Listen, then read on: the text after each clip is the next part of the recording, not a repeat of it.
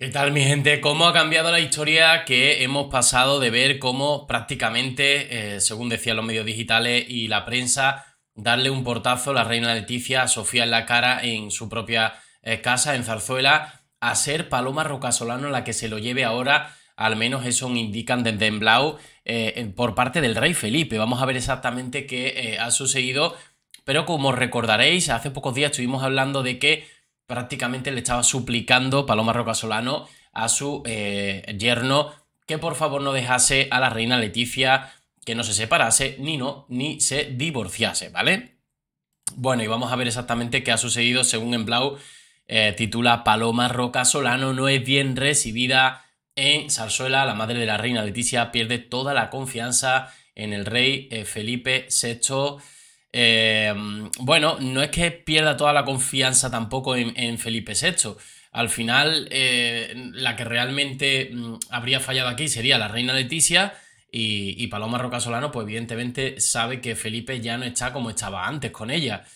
Si es que todo esto es verdad, sigo insistiendo que yo hasta que no vea pruebas por parte del Burgo, evidentemente la cosa no está bien, eh, hay caras que lo dicen todo, hay gestos quizás que no sean del todo cómplices como, como antiguamente, que si es verdad que, oye, veíamos guiños del rey a la reina y demás, ya fueran discurso o incluso eh, físicamente, ¿no? Algún tipo de gesto, guiño, sonrisa en actos oficiales. Es verdad que la cosa está como está ahora mismo y, y todo lo que se haga va a ser mirado con lupa.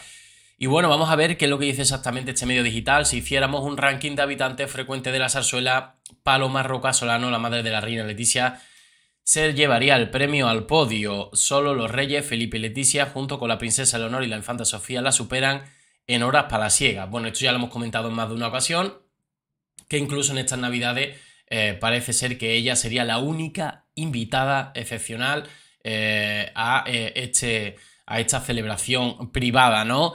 Que por ende la reina Sofía también, ¿no? Como consuegra ha sido invitada en otras ocasiones, pero parece ser que eh, Sofía, pues bueno, ha ido perdiendo peso eh, también eh, en los últimos años, ¿no? La tienen ya para los eventos religiosos, porque ella no es religiosa, la reina Leticia, y, no quiere tampoco que el rey vaya, con lo cual está acudiendo la reina Sofía como para darle algún entretenimiento y, y listo, ¿no? Bueno, ni la reina emérita Sofía se atreve a competir, y eso que comparten el mismo palacio, mientras Sofía prefiere su propio rincón, Paloma es como ese invitado que nunca se va, ¿no? De hecho, Sofía se ha llevado algún portazo en ocasiones, que es lo que os decía, lo que os decía al principio del vídeo, ¿no? Según la periodista Pilar Eire, la emérita se topó con la mala suerte de que Leticia ya no quería suegra rondando por la casa, contrató hasta una enfermera especializada para que las niñas, eh, para las niñas, para evitar que Sofía se convirtiera en la niñera oficial. No quería, eh, digamos, eh, eh, esa cercanía tan habitual, que le cogieran tanto, tanto, tanto cariño, que, fuera para ella imprescindible su abuela, ya no como abuela, sino también como cuidadora. Y la reina Leticia pues decidió, eh, bueno, tener un servicio para las niñas y que, que fuera el servicio quien se encargara de ella y no, y no Sofía, que al final la iban a tener hasta en la sopa. Y bueno, sabemos que la reina Leticia, al no ser bien recibida por los reyes en su momento, emérito, Juan Carlos y Sofía, evidentemente pues eh, desde ahí viene un poco eh, ese distanciamiento entre ellas, ¿no? Paloma Roca Solano eh, desplaza a la reina emérita Sofía en el papel de abuela. Es cierto que al final el hecho de que ella fuera mm, tan campante por palacio como si fuera suyo, Paloma Roca Solano, y Sofía, pues teniendo que distanciarse porque la reina Leticia no se lleva bien con ella, pues hizo que Paloma Roca Solano, digamos, cumpliera el papel de la abuela más vista a diario por las niñas, ¿no? Insisto, en su momento, porque ahora cada una está en un sitio, tanto en Gales eh, Sofía como en Zaragoza la princesa Leonor. El lío alcanzó eh, su punto álgido cuando Sofía apareció con una caja de juguete y le cerraron la puerta en las narices. Vengo a ver a mis nietas, soltó la pobre pero la niñera, cual portera de discoteca exclusiva, le dijo que la señora había salido y hasta, eh, le hizo de escudo humano para que no entrara, es decir, hasta que no venga la jefa, aquí no entra nadie. Usted no está en la lista de personas autorizadas, le soltó. En contraste, Paloma Roca Solano siempre ha sido la abuela número uno, La razón es que la madre de Leticia cumple estrictamente con las directrices de su hija en materia de alimentación y horario, mientras que la reina Sofía tiene su propio criterio, ¿vale? Saliéndonos un poco del contexto del reinado y de cómo se lleven entre ellas, sí que es cierto que cuando unos padres, ¿vale? Mm, hacen caso, unos abuelos hacen caso a las directrices de, sus padres, eh, evidentemente, normalmente, pues te tira más, oye, pues si mi madre hace más caso que mi suegra o mi suegra hace más caso que mi madre, pues evidentemente la dejo con, la que más caso me haga, porque yo quiero, oye, que, no se le dé esto, se le dé lo otro, en fin, yo esto sí lo entiendo, sí lo entiendo, ¿no? Eh, bueno, eh, desveló mm, María Ángela Alcázar en la revista Lectura este asunto. Claro, sumemos que Sofía a menudo estaba fuera por temas de compromisos reales. Todo esto ha llevado a que Leonor y Sofía estén más pegadas a su abuela materna.